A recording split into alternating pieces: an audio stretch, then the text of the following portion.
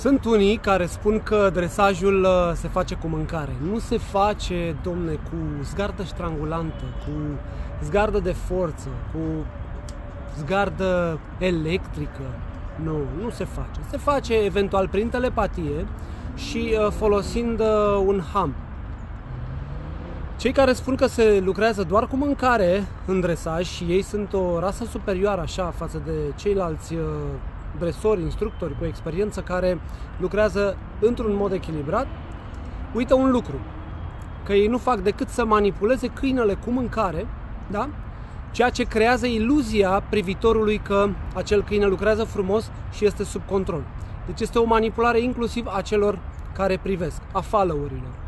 În al doilea rând, ei uită faptul că ai noștri câini comunică tactil, se apucă cu dinții, se suie cu labele, se suie cu corpul unul peste celălalt. Deci comunicarea tactilă este comunicarea lor de bază. Astfel că ei omit acest uh, aspect și folosind doar mâncare, bineînțeles, au o abordare incompletă față de câini. Vreți să vedeți ce se întâmplă atunci când uh, un câine este condus de ham și gâtul, capul îi este liber?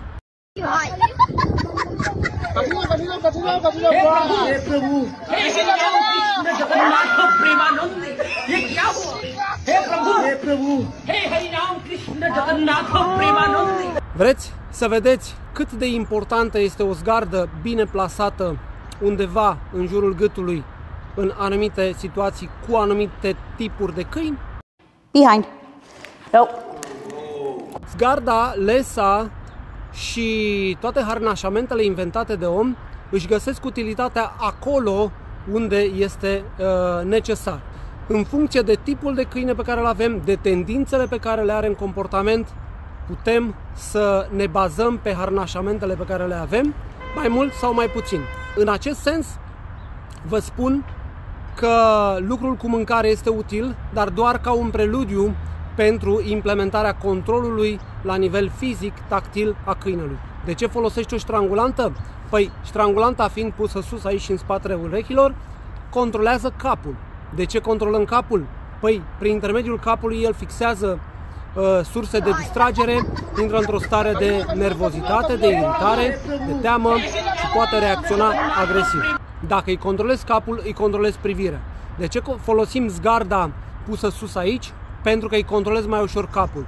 De ce? Pentru că unii câini, pentru a rezolva situații, vor să-și folosească dinții și să muște. Astfel că un control al capului te poate scoate din belea și poate controla posibilitatea de a-și folosi cea mai puternică armă pe care câinele o are. Gura. De ce folosim zgarda de forță, așa zis de forță, cea metalică cu pinteni, către interior? Păi câinii învață să tragă foarte tare în zgardă.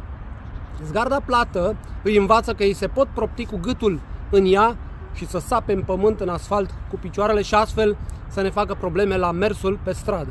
Dacă cumva o distragere este extrem de puternică, câinele se proptește în zgardă, trage, te poți împiedica, cazi pe burtă, câinele se duce după acea distragere și s-ar putea să-l lovească un camion. Ce ziceți de asta?